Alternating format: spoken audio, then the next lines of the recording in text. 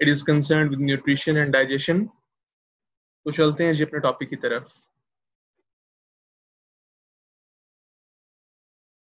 जब हम न्यूट्रिशन की बात करते हैं तो nutrition include all processes like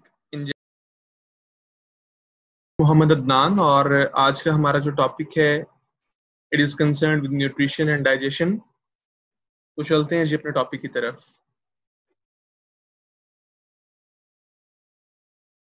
जब हम न्यूट्रिशन की बात करते हैं तो nutrition include all processes like ingestion of the food digestion of the food absorption of the food and then its assimilation ये तमाम के तमाम चीज़ें न्यूट्रिशन की छतरी के अंदर आती हैं। अगर हम डाइजेशन की बात करें तो डाइजेशन सिंपली उस फ़ूड की केमिकल या मैकेनिकल ब्रेकडाउन होती है कि उन फ़ूड पार्टिकल्स को इस काबिल बना दिया जाए कि इंडिविजुअल सेल्स जो उनसे हैं, उनको एब्जॉर्ब कर सकें। और देन उसको यूटिलाइज कर सकें। यहाँ पर एक इंटरेस्टिंग चीज़ है जी कि किसी भी जो ऑर्गेनिज्म की न्यूट्रिशनल रिक्वायरमेंट होती है, वो उसकी एबिलिटी के, कि वो खुद मॉलिक्यूल्स सिंथेसाइज कर सकता है या नहीं, जिनसे उसने एनर्जी ड्राइव करनी है, उसके इनवर्सली प्रोपोर्शनल होती है। यानी कि अगर हम ऑटोट्रॉप्स की बात करें, जो कि अपनी एनर्जी खुद जनरेट कर सकते हैं थ्रू फ़ूड जो वो खुद बना रहे हैं तो क्योंकि वो खुद से मॉलिक्यूल्स को जनरेट कर रहे हैं फ़ूड के इसलिए उनकी न्यूट्रिशनल रिक्वायरमेंट्स बहुत कम हैं। जबकि हेट्रोट्रॉप्स जो खुद से फ़ूड को जनरेट नहीं कर सकते हैं, खुद से इन मॉलिक्यूल्स को नहीं बना सकते हैं, जिनसे उन्होंने एनर्जी ड्राइव करनी है तो उनकी न्यूट्रिशनल रिक्वायरमेंट बहुत ज़्यादा होती है। इसलिए उनको फ़ूड इनटेक करना पड़ती है। तो ये चीज़ याद रहनी चाहिए कि न्यूट्रिशनल रिक्वायरमेंट्स जो सी हैं, वो किसी भी जानदार की एबिलिटी के कि वो खुद से मॉलिक्यूल्स जो इंपॉर्टेंट बायोमोलिक्यूल्स हैं उनको सिंथेसाइज कर सकता है या नहीं कर सकता। Uh, हम बायोसिंथेटिक uh, एबिलिटी की बेस के ऊपर ऑर्गेनिज्म को दो हिस्सों में तकसीम करते हैं ब्रॉडली ऑटोट्रॉप्स और हेट्रोट्रॉप्स जैसा कि इनके बारे में हम जानते हैं। हेट्रोट्रॉप्स में देन जो हेट्रोट्रॉप्स हैं वो किस चीज़ को as source of food use कर रहे हैं? हमने इनके चार ग्रुप्स बना दिए अगर वो प्लांट्स को as source of food use कर रहे हैं तो वो हर्बीवोर्स हैं। अगर वो एनिमल्स को सोर्स ऑफ़ फ़ूड यूज़ कर रहे हैं तो वो कार्निवोर्स हैं। अगर वो प्लांट और एनिमल दोनों को एज सोर्स यूज़ कर रहे हैं, वो ऑमनीवोर्स हैं, और अगर वो इंसेक्ट्स के ऊपर फ़ीड करते हैं तो वो इंसेक्टिवोर्स हैं। अब ये जो न्यूट्रिएंट्स हम ले रहे हैं एज फ़ूड इनको हम ब्रॉडली दो हिस्सों में तकसीम कर देते हैं जी। एक है हमारे पास मैक्रोन्यूट्रिएंट्स जिनकी हमें ज़्यादा रिक्वायरमेंट होती है। तकरीबन एक दिन में हंड्रेड मिलीग्राम से ज़्यादा की रिक्वायरमेंट होती है इनकी। और इनके अंदर कार्बोहाइड्रेट लिपिड और प्रोटीन्स आ जाती हैं, जो कि मेजर सोर्स हैं एनर्जी का। जबकि जो माइक्रोन्यूट्रिएंट्स हैं, ये हमें स्मॉल क्वांटिटीज के अंदर चाहिए और ये एनर्जी का सोर्स नहीं है, लेकिन हमारी बॉडी के अंदर होने वाले मुख्तलि फिजियोलॉजिकल जो प्रोसेस हैं, उनके अंदर बहुत इंपॉर्टेंट रोल प्ले कर रहे हैं और इनकी डेफिशिएंसी से बहुत प्रॉब्लम्स हो सकती हैं, जिनको हम आने वाली स्लाइड में एज एन एग्ज़ाम्पल डिस्कस करेंगे। तो जो माइक्रो न्यूट्रिएंट्स हैं, इनको हम इन ब्रॉड कॉन्टेक्स्ट मिनरल्स और वाइटामिन दो ग्रुप्स के अंदर डिवाइड करते हैं। अगर हम मैक्रो न्यूट्रिएंट्स की बात करें तो जैसा हमने बात की कि ये एनर्जी का ज़रिया इनसे हम एनर्जी ड्राइव करते हैं। तो जो हमारी फ़ूड है, जो हमें वो एनर्जी दे रही है, हम उसको एनर्जी को मैयर करते हैं इन टर्म ऑफ़ कैलोरीज अब ये कैलोरी क्या चीज़ है? कैलोरी एक्चुअली आप इस तरह से इसको डिफाइन कर सकते हैं कि अगर आपके पास एक ग्राम पानी का हो और आपने उसका टेम्परेचर एक डिग्री बढ़ाना हो। फॉर एग्ज़ाम्पल पंद्रह डिग्री से सोलह डिग्री करना हो तो वो पानी एक डिग्री टेम्परेचर बढ़ाने के लिए जितनी हीट एब्जॉर्ब करेगा, वो हीट जो है वो एक कैलोरी के बराबर होगी। यहाँ पर एक चीज़ ध्यान रखिएगा कि जो कैलोरी है, अगर वो सी से स्मॉल सी से लिखी हुई है, उसका जो पहला लफ्स है, वो स्मॉल अल्फ़ाबेट है सी का तो वो ग्राम कैलोरी की हम बात कर रहे हैं। और अगर वो पहला वर्ड कैपिटल सी होगा तो वो किलोग्राम कैलोरी या किलो कैलोरी होगी, जिसमें एक किलो कैलोरी में हज़ार ग्राम कैलोरीज मौजूद होती हैं। तो इस चीज़ का ध्यान रखिएगा। अमूमन जो फ़ूड हम कंज्यूम करते हैं, जो हम जूस बिस्किट या दूसरे प्रोडक्ट्स मार्केट से खरीदते हैं, उसके पीछे जो एनर्जी वैल्यू लिखी होती है, वो in term of kilo calories लिखी होती है। अगर हम कार्बोहाइड्रेट्स की बात करें तो कार्बोहाइड्रेट्स पर ग्राम 4.1 किलो कैलोरी एनर्जी देते हैं प्रोटीन्स पर ग्राम 4.4 किलो कैलोरीज एनर्जी देती हैं, और लिपिड्स पर ग्राम 9.3 किलो कैलोरीज एनर्जी देते हैं। क्योंकि सेम अमाउंट के अंदर आप अगर कंपेयर करें इनको तो लिपिड सबसे ज़्यादा आपको एनर्जी दे रहे हैं, इसलिए लिपिड्स को हम most concentrated source of food energy कहते हैं। अगर हम कार्बोहाइड्रेट्स की बात करें तो कार्बोहाइड्रेट्स के हवाले से दो चीज़ें याद रखिएगा कि जो मेजर डाइटरी सोर्स है हेट्रोट्रॉप्स के लिए, वो कार्बोहाइड्रेट्स हैं। ज़्यादातर जो एनर्जी के सोर्स के तौर पे हेट्रोट्रॉप्स यूज़ करते हैं, वो कार्बोहाइड्रेट को यूज़ करते हैं। दूसरी चीज़ याद रखिएगा कि जो कार्बोहाइड्रेट्स हैं, ये कार्बन का भी मेजर सोर्स है। और जो हमारी बॉडी में ऑर्गेनिक कंपाउंड्स बन रहे हैं, जिनके अंदर आप जानते हैं कार्बन मेजर एलिमेंट के तौर पे इस्तेमाल किया जाता है तो ये जो कार्बन कहाँ से आ रहा है, इसका मेजर सोर्स भी यही कार्बोहाइड्रेट्स ही हैं। अगर हम माइक्रोन्यूट्रिएंट्स की बात करें, जिनको हम दो हिस्सों में ब्रॉडली तकसीम करते हैं मिनरल्स और वाइटामिन तो मिनरल्स अगर ज़्यादा अमाउंट में चाहिए रिलेटिवली तो वो मैक्रो और अगर कम अमाउंट में चाहिए होंगे तो माइक्रो मिनरल्स कहलाएँगे। और वाइटामिन को हम दो क्लासेस के अंदर डिवाइड करते हैं डिपेंडिंग कि वो पानी में सॉल्युबल हैं या नहीं। तो जो पानी में सॉल्युबल हैं, वो वाटर सॉल्युबल वाइटामिन कहलाते हैं और सिर्फ़ ये दो हैं वाइटामिन सी और वाइटामिन बी वाइटामिन बी की आगे डिफरेंट फॉर्म्स हैं, जैसे आप देख भी सकते हैं vitamin B one B two B three और अगर वो पानी में सॉल्युबल नहीं है तो वो फैट सॉल्युबल वाइटामिन हैं ए डी ई और के के हवाले से. अगर हम थोड़ा सा इनको देख लें कि बेशक ये माइक्रो न्यूट्रिएंट्स हैं, लेकिन हमारी बॉडी में क्या रोल प्ले कर रहे हैं और इनकी डेफिशिएंसी से क्या प्रॉब्लम्स हो सकती हैं तो हम इनकी इंपॉर्टेंस को समझने के काबिल हो जाएँगे। फ़र्ज़ करें, अगर हम कैल्शियम की बात करें तो कैल्शियम बोन्स का इंपॉर्टेंट पार्ट है। In the form of calcium phosphate bone के अंदर स्टोर है। अगर कैल्शियम की कमी हो जाए हाइपोग्लाइसीमिया हो जाए तो आपको ऑस्टियोपोरोसिस की डिज़ीज़ हो जाएगी। इसी तरह से ये नॉर्मल ब्लड क्लॉटिंग के लिए ज़रूरी है।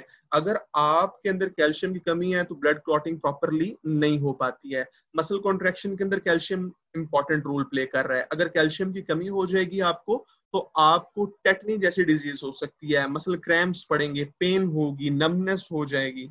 इसी तरह अगर हम वाइटामिन की बात कर लें तो वाइटामिन ए जो है ये विजुअल पिगमेंट्स बनाने के लिए ज़रूरी है वाइटामिन के ब्लड क्लॉटिंग के लिए ज़रूरी है।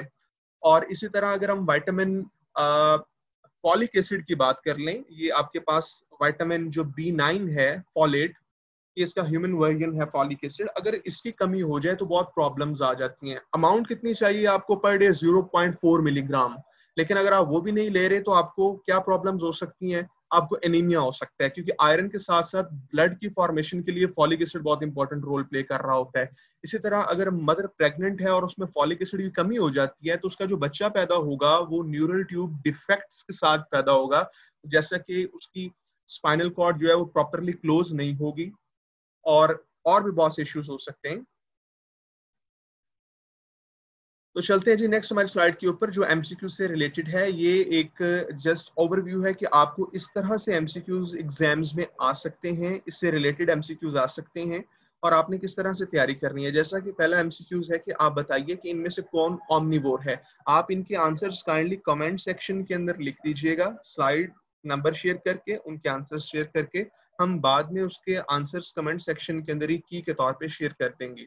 इसी तरह जो कैलोरी के हवाले से मैंने आपको बताई थी बात, उसको मद्देनजर रखते हुए इसका आंसर कीजिएगा। मेजर डाइटरी सोर्स कौन सा है, ये बताएँ। मोस्ट कंसंट्रेटेड सोर्स कौन सा है, ये बताएँ। तो इस तरह के कुछ एमसीक्यूज यहाँ पर हमने मेंशन किए इनके काइंडली आप खुद को टेस्ट कीजिए कि आपको इनमें से कितने आते हैं। सिक्स वन इज़ इंपॉर्टेंट इसका ध्यान रखिएगा। Major positive ion in the cell यानी सेल के अंदर कौन है? मेम्ब्रेन के अंदर सेल मेम्ब्रेन की बाउंड्री के अंदर। इसी तरह major positive ion extracellular fluid में कौन है? ये भी एमसीक्यूज आ सकता है। आपके पास major negative ion in the cell कौन है? ये भी एमसीक्यूज आ सकते हैं। तो इस तरह से आपसे वो डिफरेंट चीज़ें पूछ सकता है। इस तरह से मेलानिन और हीमोग्लोबिन की सिंथेसिस के लिए कौन सा एसेंशियल है इनके अंदर? माइक्रोन्यूट्रिएंट वो आप बताएँगे। और विटामिन कौन सा ज़रूरी है ब्लड क्लॉटिंग के लिए? नेक्स्ट अगर हम डाइजेशन की बात करें तो डाइजेशन को हम बेसिकली दो हिस्सों में तकसीम कर रहे हैं। इधर वो सेल के अंदर हो रही है, या वो सेल से बाहर हो रही है। अगर वो सेल के अंदर हो रही है, यानी कि जो फ़ूड है, वो सेल की बाउंड्री के अंदर चली गई है, वो डिफ्यूजन से जा सकती है ऑस्मोसिस से जा सकती है एंडोसाइटोसिस से जा सकती है, किसी भी सोर्स के थ्रू अंदर गई है, और उसकी डाइजेशन सेल की बाउंड्री के अंदर हो रही है तो वो आपके पास इंट्रासेलुलर डाइजेशन होगी, जहाँ पर लाइसोसोम्स अपना मेन रोल प्ले कर रहे होते हैं। जबकि अगर इंजाइम्स को आप सेल से बाहर भेज रहे हैं और उसे किसी एक खास कैविटी के अंदर, किसी ऑर्गन के अंदर डाइजेस्ट कर रहे हैं तो वो आपके पास एक्स्ट्रा सेलुलर डाइजेशन कहलाएगी। एनिमल्स की अगर हम फीडिंग स्ट्रेटजीज की बात करें कि एनिमल्स किस तरह से खुराक हासिल करते हैं तो बेसिकली उनको आप दो हिस्सों में डिवाइड कर सकते हैं। कॉन्टिन्यूस फीडर्स वो होंगे जो हर वक्त फ़ूड लेते रहते हैं 24 घंटे में जबकि डिसकॉन्टिन्यूस फूडर जो फीडर्स हैं वो वक्फे वक्फे से फ़ूड को कंज्यूम करते हैं। वो लगातार फ़ूड को सारा दिन और रात जो है उसके लिए आ, कोशिश नहीं करते हैं। सस्पेंशन फीडर्स के अंदर आपके पास जिनको आप फ़िल्टर फीडर्स भी कह सकते हो बहुत अच्छी एग्ज़ाम्पल स्पॉन्ज की है। आपके पास फ़िल्टर फीडिंग के लिए सस्पेंशन फीडिंग के लिए तीन रिक्वायरमेंट्स होने चाहिए। ये तीन स्टेप्स में होती है। सबसे पहले तो आपके पास कोई फिल्ट्रेशन अपरेटस होना चाहिए, जिसके अंदर से पानी गुजरता हो। फिर वो फिल्ट्रेशन अपरेटस काबिल होना चाहिए कि वो उस पानी के अंदर मौजूद सस्पेंडेड ऑर्गेनिक मैटर को कैप्चर कर सके ट्रैप कर सके। और फिर उस ट्रैप्ड फ़ूड को स्वीप किया जाता है माउथ की तरफ़। तो तीन स्टेप के अंदर सस्पेंशन फीडर्स जो उनसे हैं वो अपनी फ़ूड हासिल करते हैं। अगर हम डिसकॉन्टिन्यूस फीडर्स की तरफ़ आ जाएँ तो सबसे पहले हमारे पास डिपॉजिट फीडर्स हैं, जिसमें सी कम्बर और अर्थफम स्पेशली बहुत आप, इससे वक्फियत होगी आपको। ये डिपॉजिट फीडर्स क्या करते हैं जी? ये मड को या सेडिमेंट्स को खा जाते हैं इनगल्फ करते हैं और उन सेडिमेंट्स के अंदर जो यूजफुल इनके लिए मटेरियल है, उसको ये अब्जॉर्ब करते हैं और बाकी मड या सेडिमेंट को ये अपनी बॉडी से एक्सक्रिएट कर देते हैं। हर्बीवोरी के अंदर प्लांट मटेरियल जो है, वो as source of food use किया जाता है, जैसे कि ग्रास ऊपर जो है, वो एक हर्बीवोर है। इसके अंदर एक इंटरेस्टिंग चीज़ याद रखिएगा कि कुछ ऐसे ऑर्गेनिजम्स होते हैं, कुछ ऐसे आपके पास जानदार होंगे, जो प्लांट्स पे फ़ीड कर रहे हैं, लेकिन इनके लीव्स के ऊपर नहीं फ़ीड कर रहे सिर्फ़ स्पेसिफिकली उनके फ्रूट्स के ऊपर फ़ीड कर रहे हैं। तो ऐसे ऑर्गेनिजम्स को हम फ्रूगीवोर्स कहते हैं। वो भी हर्बीवोर्स हैं, लेकिन उनको हमने एक स्पेशलाइज नाम दे दिया फ्रूगीवोर्स का। प्रिडेशन जो है, इसमें हम जानते हैं दो ऑर्गेनिज्म होंगे, एक प्रिडेटर होगा और एक प्रे होगा। अब जो प्रीडेटर है, वो किस तरह से अपने प्रे को पकड़ता है, उसे कैप्चर करता है, इस लिहाज से हमने चार डिफरेंट ग्रुप्स बना लिए हैं। पहली जो टाइप है प्रीडेटर की, वो है मोटाइल स्टाकर्स मोटाइल स्टाकर्स क्या करते हैं? ये एक्टिवली अपने प्रे को चेज करते हैं। उसके पीछे भागते हैं, उसे थकाते हैं और उसके बाद उसको पकड़ते हैं, फिर उसको मार देते हैं। दूसरी टाइप आपके पास ल्यूरकिंग प्रीडेटर्स की है। ये हम्म। इंतज़ार करते हैं तब तक जब तक इनका प्रे इनकी रेंज में नहीं आ जाता। ये उसके पीछे भागते नहीं है उसे एक्टिवली चेज नहीं करते हैं। जैसे वो रेंज में आता है इनकी तो ये उस पर हमला करते हैं उसे कैप्चर करते हैं और मार देते हैं। सिसाइल अपॉर्चुनिस्ट इंतहाई नकम्मे होते हैं। ये कोई काम नहीं करते। ये बैठे रहते हैं और जब इनका प्रे आके इनके साथ टच करेगा तो फिर ये उसको कैप्चर करेंगे और इनगल्फ करेंगे। ये सिर्फ़ इंतज़ार करते हैं अपने प्रे का खुद मौ, मौत के मुँह में आने का। जबकि जो ग्रेजिंग कार्निवोर्स होते हैं ये नीचे देखते हुए चलते हैं और छोटे छोटे जो इनकी इनकी फ़ूड के तौर पे जिनको ये यूज़ करते हैं ऑर्गेनिजम्स को उनको पकड़ते हैं और उनको इनगल्फ कर लेते हैं। नेक्स्ट ये हमारी जो दूसरी साइड है ये क्या पूछ रही है जी कि इनमें से आप बताइए कि डिपॉजिट फीडर्स प्राइमरली किस क्लास से बिलोंग करते हैं? देन जी आप बताएँगे कि इनमें से वर्किंग प्रीडेटर कौन सा है? थर्ड वाला इंपॉर्टेंट है जी। थर्ड वाला इसलिए इंपॉर्टेंट है कि यहाँ पर हमने ये पूछा है कि जो लेम्प्रेज हैं, बताएँ कि उनके अंदर कितने रास्पिंग टीथ मौजूद होते हैं। आपको ये पता होना चाहिए कि जो लेम्प्रेज हैं बेटा, वो लेम्प्रेज काम करते हैं जो फिशेज हैं, वो काम करती हैं एज फ्लूड फीडर का। जो आई थिंक स्किप भी हो गई थी बात हमसे लास्ट स्लाइड में। जी फ्लूड फीडर्स की अगर हम बात करें तो फ्लूड फीडर्स जो उनसे होते हैं, ये फ्लूड को एज सोर्स ऑफ़ फ़ूड इस्तेमाल करते हैं, जैसे एफिड्स हैं, वो फ्लोइम से सक करते हैं, और जिस तरह मॉस्किटोज हैं, वो हमसे ह्यूमन से या दूसरे ऑर्गेनिज्म से ब्लड सक करते हैं, और फिर उसको as source of food use करते हैं। तो अमूमन जो ज़्यादातर पैरासाइट्स होते हैं एक्टो पैरासाइट्स वो फ्लूड फीडर्स होते हैं। जबकि जो सरफेस न्यूट्रिएंट एब्जॉर्प्शन है इसमें जो ऑर्गेनिजम्स हैं उनके पास डाइजेस्टिव सिस्टम मौजूद नहीं होता है सेश और वो इस काबिल होते हैं कि वो अपने सरफेस के थ्रू जो है न्यूट्रिएंट्स को डायरेक्टली एब्जॉर्ब कर सकते हैं। जैसे कि कलमनास जो है ये आपके पास एक एग्ज़ाम्पल के तौर पर इस, इस, इसी तरह आपके पास गटलेस बाय वॉल्व्स हैं वो भी सरफेस न्यूट्रिएंट एब्जॉर्प्शन के ज़रिए ये ये वाटर से भी लाइक मैरीन वाटर के ज़रिए भी कर उसके अंदर अगर रह रहे हैं तो उससे एब्जॉर्प्शन कर लेंगे। अगर ये आपकी बॉडी में एज पैरासाइट रह रहे हैं तो आपकी बॉडी के फ्लूइड्स से डायरेक्ट जो है वो एब्जॉर्प्शन कर लेंगे जैसे टेप पम्प कर रहा होता है। हाँ जी तो अब आते हैं हम लेम्प्रे की तरफ़ जो आ, हम बात कर रहे थे कि लेम्प्रे भी एक फ्लूड फीडर के तौर पे आ, आपने याद रखना है इसको। लेम्प्रे जो है इसका माउथ फनल लाइक होता है जिसके अंदर टीथ मौजूद होते हैं। टीथ की मदद से ये एक इस फनल की मदद से ये एक सकिंग जो है आप कहें कि अपरेटस है, इससे ये अपने होस्ट के साथ चिपक जाती है और इसकी जो टंग है, उसके ज़रिए उसमें ये सुराख करती है और वहाँ से जो ब्लड निकल रहा है, उसको ये यूज़ कर रही है एज फ़ूड तो आपने ये बताना है कि इसके जो लेम्प्रे है, इसके माउथ के अंदर कितने टीथ मौजूद होते हैं। इसी तरह से नेक्स्ट भी एक इंपॉर्टेंट एमसीक्यूज है कि सकिंग के हवाले से अगर हम बात करें फ्लूड फीडिंग के अंदर तो सबसे बेहतर सेकिंग स्ट्रक्चर्स किसके अंदर डेवलप हुए हैं? वो कौन से ऑर्गेनिजम्स हैं? और आखिरी है कि इनमें से काइंडली बताएँ कि कौन सा ऑर्गेनिज्म जो है, वो न्यूट्रिएंट्स अपनी बॉडी के सरफेस के अक्रॉस हासिल करता है। नेक्स्ट अगर हम डाइवर्सिटी की बात करें डाइजेस्टिव स्ट्रक्चर्स के अंदर तो प्रोटोजोन्स क्योंकि यूनिसेलर ऑर्गेनिजम्स हैं, इनके अंदर ऐसे कोई डाइजेस्टिव स्ट्रक्चर मौजूद नहीं है। लेकिन इनके अंदर एक इंटरेस्टिंग चीज़ आपने याद रखनी है, और ये सब के अंदर नहीं है। यानी कि ये बात जो मैं करने अभी आपके सामने बताने जा रहा हूँ, ये तमाम के तमाम प्रोटोजोन्स को फॉलो नहीं करते। ज़्यादातर प्रोटोजोन्स के अंदर फ़ूड किसी भी जगह से, जहाँ से भी वो टच करेगी सेल मेम्ब्रेन को, वहाँ से वो एंडोसाइटोसिस के ज़रिए या डिफ्यूजन ऑस्मोसिस के ज़रिए, किसी प्रोसेस के ज़रिए वो अंदर आ जाएगी। और वेस्ट मटेरियल किसी भी जगह से सेल मेम्ब्रेन से, जहाँ पर वो वैक्यूल जो है, जैशन वैक्यूल वो टच करेगा, वहाँ से वो बाहर निकल जाएगा। लेकिन कुछ प्रोटोजोन्स के अंदर स्पेसिफिक पॉइंट मौजूद है जहाँ से फ़ूड एंटर करेगी और स्पेसिफिक पॉइंट मौजूद है जहाँ से वो एग्जिट करेगा वेस्ट मटेरियल एग्जिट करेगा।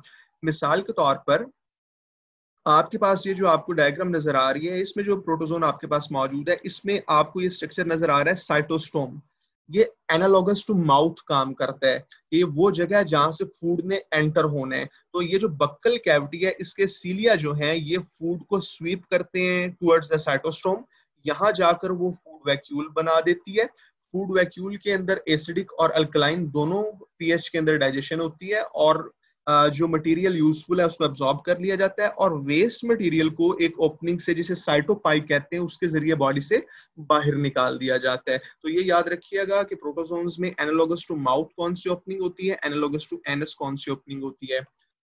अगर हम इनवर्टिब्रेट्स की बात करें जी तो इनवर्टिब्रेट्स के अंदर जो गैस्ट्रोवेस्कुलर कैविटी है वो इनके डाइजेस्टिव कैविटी के तौर पे सामने आती है। अब जो गैस्ट्रोवेस्कुलर कैविटी है, इसके अंदर बहुत सी मॉडिफिकेशंस मौजूद हैं। सिंपलर टू कॉम्प्लेक्स जो है ना ये इस तरफ़ जा रही होती है। फॉर एग्ज़ाम्पल अगर हम हाइड्रा की बात करते हैं जी तो हाइड्रा की गैस्ट्रोवेस्कुलर कैविटी एक ट्यूब लाइक स्ट्रक्चर है सिंपल जबकि अगर आप इसे प्लेनेरिया से कंपेयर करेंगे तो प्लेनेरिया की गैस्ट्रोवेस्कुलर कैविटी काफ़ी ब्रांच होती है।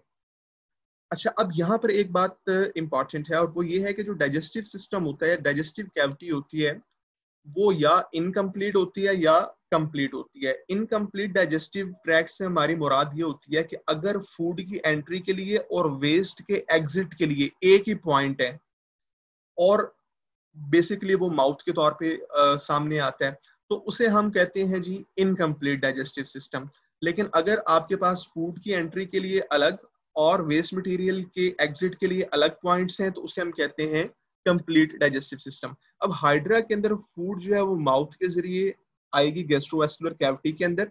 यहाँ पर एंजाइम्स सिक्रिएट किए जाएँगे, यानी यहाँ पर होगी एक्स्ट्रा सेलुलर डाइजेशन उसके बाद जो पार्टिकल्स हैं, जब वो छोटे छोटे पार्टिकल्स बन जाएँगे, उसमें वो टूट जाएँगी फ़ूड तो उनको फिर जो सेल्स हैं, इसकी कैविटी की लाइनिंग के, वो एंडोसाइटोसिस से अंदर ले जाते हैं और फिर यहाँ पर होती है इंट्रासेलुलर डाइजेशन और जो वेस्ट मटेरियल है, वो फिर इसी माउथ के ज़रिए बॉडी से बाहर निकाल दिया जाता है। तो हाइड्रा के अंदर इनकम्प्लीट डाइजेस्टिव सिस्टम है सिमिलर प्लेनेरिया के अंदर भी है। अगर आप बात करें निमाटोड्स में तो निमाटोड्स के अंदर आपके पास कंप्लीट डाइजेस्टिव सिस्टम है और इसी तरह इंसेक्ट्स के अंदर भी आपके पास कंप्लीट डाइजेस्टिव सिस्टम मौजूद होता है। लेकिन ऑब्वियसली जैसा आप देख रहे हैं कि इंसेक्ट के डाइजेस्टिव सिस्टम में काफ़ी स्पेशलाइजेशन आ गई है और इनको हम आगे मजीद डिस्कस करेंगे। अगर हम बाइवॉल्व्स की बात करें कि बाइवॉल्व्स किस तरह से डाइजेशन करते हैं तो बाइवॉल्व की डाइजेशन के समझने से पहले जरा इसके स्टमक की तरफ़ आ जाएँ। और इसके स्टमक में कुछ स्ट्रक्चर्स को देख लें। इसके स्टमक में ये जो स्ट्रक्चर है, जिसे हम कह रहे हैं जी क्रिस्टलाइन स्टाइल ये एक ऐसा स्ट्रक्चर है जिसके अंदर आपके पास इन्होंने कार्बोहाइड्रेट और फैट डाइजेस्टिंग एंजाइम्स इनकॉर्पोरेट किए होते हैं। ये क्रिस्टलाइन स्टाइल हिट करता है जी इस गैस्ट्रिक शील्ड के साथ। और हिट किसकी मदद से करता है? सीलिया की मदद से, जो इस स्टाइल सैक के अंदर होते हैं। जब ये इसको हिट करता है तो यहाँ पर इनके दरमियान में जो फ़ूड होगी, उसकी मैकेनिकल ब्रेकडाउन होगी। जिस तरह बिल्कुल पिस्टर और मॉल्टर काम करते हैं इसी तरह ये काम कर रहा है। और गैस्ट्रिक शील्ड जो है आपके पास, जब ये इसके साथ हिट करेगा आके तो कुछ इंजाइम्स यहाँ से भी सिक्रिएट होंगे।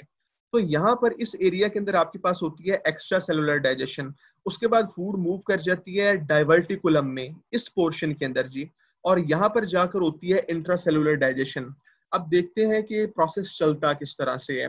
तो जी एक्स्ट्रा सेलुलर डाइजेशन होने से पहले ही जो बाइवॉल्व्स हैं, ये अपने स्टमक के अंदर फ्रेगमेंटेशन स्पेरियूल्स को सेक्रेट करते हैं और इन फ्रेगमेंटेशन स्पेरियूल्स का काम क्या होता है? इनका काम होता है पीएच को कम करना ताकि एक्स्ट्रा सेलुलर डाइजेशन इनके अंदर प्रॉपरली हो सके।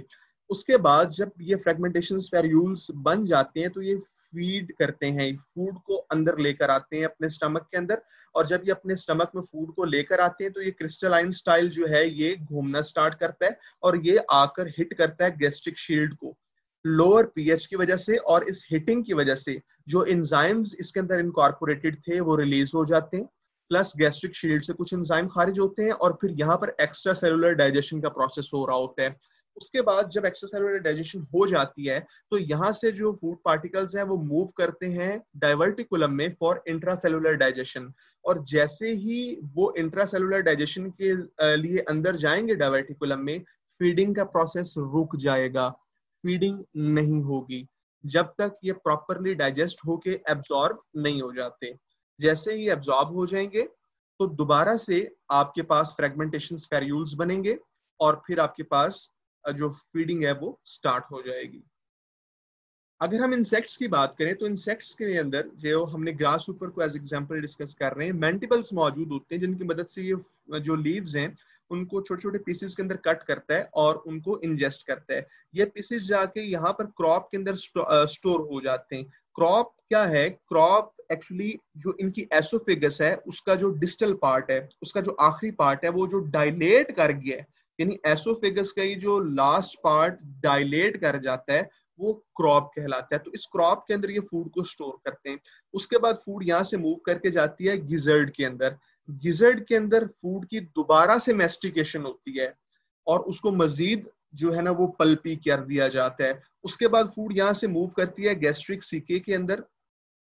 और ये स्टमक के साथ एसोसिएटेड होते हैं, ये एंजाइम्स खारिज करते हैं फ़ूड की डाइजेशन के लिए। और उसके बाद फ़ूड यहाँ से मूव करती है डाइजेस्ट हो के इलियम के अंदर, जहाँ पर फ़ूड को एब्जॉर्ब कर लिया जाता है। और फिर जो अनडाइजेस्टेड फ़ूड है, वो रेक्टम में चली जाती है और रेक्टम में अनडाइजेस्टेड फ़ूड स्टोर रहती है। इसके साथ साथ रेक्टम के अंदर ग्रास ऊपर की जो rectum it is specialise for the absorption of water and ions और उसके बाद जो जो वेस्ट मटेरियल है, वो ये बॉडी से बाहर निकाल देते हैं। इसके अंदर एक चीज़ याद रखिएगा कि इंसेक्ट्स वो वाहिद आपके पास, आप कहें कि क्लास है, जिसके अंदर आपके पास जो एक्सक्रीटरी स्ट्रक्चर का स्ट्रक्चर एक्सक्रीटरी स्ट्रक्चर के आपके पास काम करने वाली चीज़ें हैं माल्फीजियन टिब्यूल्स एक्सक्रीटरी स्ट्रक्चर्स वो इनके डाइजेस्टिव स्ट्रक्चर के साथ एसोसिएटेड हैं। कोई भी आपको इंसेक्ट के अलावा ऐसा ऑर्गेनिज्म नहीं मिलेगा, जिसका एक्सक्रीटरी सिस्टम जो है, वो उसके डाइजेस्टिव सिस्टम के साथ अटैच हो। तो इंसेक्ट्स इस लिहाज से एक, आप कह लें कि स्पेशलाइज्ड ऑर्गेनिजम्स भी हैं कि उनका एक्सक्रीटरी सिस्टम उनके डाइजेस्टिव सिस्टम के साथ लिंक्ड है। आप कमेंट में मुझे इसकी वजह बता सकते हैं कि इसका क्या फ़ायदा होता है इंसेक्ट्स को? क्यों उनकी माल्फीजियन ट्यूब्यूल्स जो कि एक्सक्रीटरी स्ट्रक्चर हैं, उनके डाइजेस्टिव सिस्टम के साथ लिंक्ड हैं? नेक्स्ट हम अपनी नेक्स्ट स्लाइड पे आते हैं एमसीक्यूज के हवाले से। आप बताएँगे फ्रेगमेंटेशन स्पेरियूल्स किसके डाइजेस्टिव सिस्टम में बनते हैं? और इनमें से कौन सा ऑर्गेनिज्म है जिसका डाइजेस्टिव ट्रैक्ट उसके एक्सक्रीटरी सिस्टम के साथ एसोसिएटेड है? कंप्लीट डाइजेस्टिव सिस्टम सबसे पहले कहाँ डिवेलप हुआ? ये एक इंपॉर्टेंट एमसीक्यूज है जी। और analogous mouth like structure protozoans का क्या कहलाता है? इसी तरह वो पूछ सकते हैं कि एनालॉगस एनस लाइक स्ट्रक्चर जो है प्रोटोजोन्स का वो क्या कहलाता है? और water absorption ion absorption grasshopper में उसके गट के कौन से पार्ट के अंदर हो रही है? नेक्स्ट अगर हम वर्टिब्रेट्स की बात करें तो वर्टिब्रेट की जो गट है, उसका बेसिक स्ट्रक्चर जो है, वो तकरीबन तमाम वर्टिब्रेट्स में यही है कि सबसे पहले ओरल कैविटी है then pharynx leading to the oesophagus stomach small intestine and then large intestine और इसके साथ साथ आपके पास, इस पूरी की पूरी गट के साथ आपके पास एसोसिएटेड ग्लैंड्स मौजूद हैं, जैसे कि स्लाइवरी ग्लैंड्स जो माउथ के अंदर होते हैं जी इसके अलावा लीवर है आपके पास और आपके पास पेनक्रियाज होगा। ये इंजाइम्स खारिज करते हैं जो डाइजेशन के अंदर मेजर रोल प्ले कर रहे होते हैं जी। अगर हम टंग की बात करें जी तो टंग आपने याद रखना है, एक इंपॉर्टेंट चीज़ है ये कि जो ट्रू टंग है वो एम्फीबियंस के अंदर इवॉल्व हुई थी। फिशेस के अंदर टंग ज़रूर मौजूद होती है, लेकिन वो एक मस्कुलर स्ट्रक्चर के तौर पे उसको यूज़ नहीं करते। एक मस्कुलर स्ट्रक्चर वो है ही नहीं।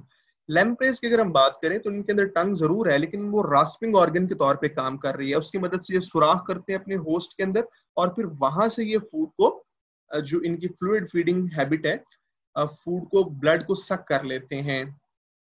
अगर हम कैमिलियन की बात करें तो यहाँ पर आप देख रहे हैं काफ़ी लंबी टंग है इसकी। इसकी टंग तकरीबन इसकी बॉडी के साइज़ के बराबर होती है, और एक ल्यूरकिंग प्रीडेटर है। ल्यूरकिंग प्रीडेटर क्या होता है, हम ये डिस्कस कर चुके हैं जी। नेक्स्ट हम वुड पैकर की बात करें तो इनकी टंग काफ़ी लंबी होती है और इनकी जो टंग है, वो इतनी लंबी होने की वजह ये है कि क्रिविसिस के अंदर से ये इंसेक्ट्स को निकाल के जो दराड़े होती हैं दरख्तों की बार्क के अंदर या रॉक्स के अंदर, उसके अंदर जो इंसेक्ट्स हैं, वहाँ से निकाल के ये उनको एज फ़ूड कंज्यूम कर रहे होते हैं। अगर हम टीथ की बात करें जी तो टीथ जो है, वो तकरीबन तमाम वर्टिब्रेट्स में मौजूद होते हैं with exception of three birds में टीथ मौजूद नहीं होते। रीजन ये है कि इन्होंने उड़ना होता है बॉडी को लाइट वेट करने के लिए एवोल्यूशन के अंदर टीथ लूज हो गई जी। टर्टल्स के अंदर टीथ मौजूद नहीं होते, इनकी एक बीक होती है, जिसकी मदद से ये च्यूइंग करते हैं जी। बैलिन मेल्स में भी टीथ मौजूद नहीं होते। अब ये जो टीथ हैं, ये स्पेशलाइज्ड होते हैं हर ऑर्गेनिज्म के अंदर और ये डिपेंड कर रहा होता है किस चीज़ पे कि ऑर्गेनिज्म क्या चीज़ एज फ़ूड इस्तेमाल कर रहा है। और किस तरह से उसको ऑब्टेन कर रहा है। लाइक like अगर हम बात करें कार्निवोर्स की तो इन्होंने गोश्त खाना होता है, इन्होंने रिपिंग करनी होती है, गोश्त चीरना फाड़ना होता है अपने प्रे का। तो इसलिए इनके अंदर केनाइंस काफ़ी ज़्यादा डिवेलप्ड होते हैं। जबकि हर्बीवोर्स जिन्होंने गोश्त से जिनका दूर दूर तक कोई वास्ता नहीं है, जिन्होंने च्यू करना होता है फ़ूड को, उनके अंदर टीथ मौजूद होते हैं, लेकिन केनाइन मिसिंग होते हैं। उनमें इंसाइजर्स भी मिल जाएँगे प्री मोलर और मोलर्स बहुत ज़्यादा डिवेलप होते हैं, उनके कस्प काफ़ी ज़्यादा होते हैं ताकि फ़ूड को अच्छी तरह से चबाया जा सके। ह्यूमन जो हैं, वो ओमनीवोर्स हैं, वो हर तरह की फ़ूड यूज़ कर रहे होते हैं तो इसलिए हमारे अंदर तीनों, चारों टाइप के जो दांत हैं, वो मौजूद होते हैं। अगर हम स्लाइवरी ग्लैंड की बात करें जी तो फ़िश के अंदर स्लाइवरी ग्लैंड जो मौजूद नहीं होते एक्सेप्शन लेम्प्रे है। क्यों उनके अंदर स्लाइवरी ग्लैंड्स होंगे?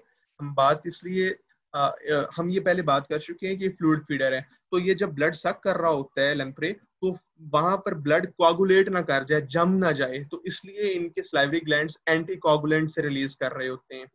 इसी तरह से स्नेक्स के अंदर इनके स्लाइवरी ग्लैंड जो से हैं, वो विनम प्रोड्यूसिंग ऑर्गन के अंदर डेवलप हो गए हैं, जो इनके वेनम ग्लैंड हैं, वो मॉडिफाइड स्लाइवरी ग्लैंड हैं। एम्फीबियन और रेप्टाइल्स के अंदर स्लाइवरी ग्लैंड नहीं होते, जबकि तमाम मैमल्स के अंदर स्लाइवरी ग्लैंड मौजूद होते हैं। एसोफेगस जी शॉर्ट ट्यूब है जो ओरल कैविटी को स्टमक के साथ कनेक्ट कर रही है। याद रखिएगा, ये इसकी लेंथ डिपेंड कर रही होती है नेक के साइज़ के ऊपर। फिशेज और एम्फीबियंस की नेक छोटी, इनकी एसोफेगस छोटी, जबकि एमनियोट्स की नेक बड़ी है, लंबी है, इसलिए उनकी एसोफेगस भी लंबी है। और जो ग्रेन या सीड ईटिंग बर्ड्स हैं, उन्होंने, क्योंकि इसको स्टोर करना होता है इनको फ़ूड के तौर पे तो एसोफेगस का लास्ट पोर्शन डायलेट कर जाता है और वो डायलेट करके आपके पास क्रॉप बना देता है, जिसमें फ़ूड को स्टोर कर लेते हैं। अगर हम स्टमक की बात करें जी एंसेस्ट्रल ऑर्गन है, तमाम वर्टिब्रेट्स के अंदर मौजूद है, लेकिन यहाँ पर हम एक, क्योंकि डाइवर्सिटी की बात कर रहे हैं तो यहाँ पर हम बात करेंगे रोमिनेंट के स्टमक के हवाले से।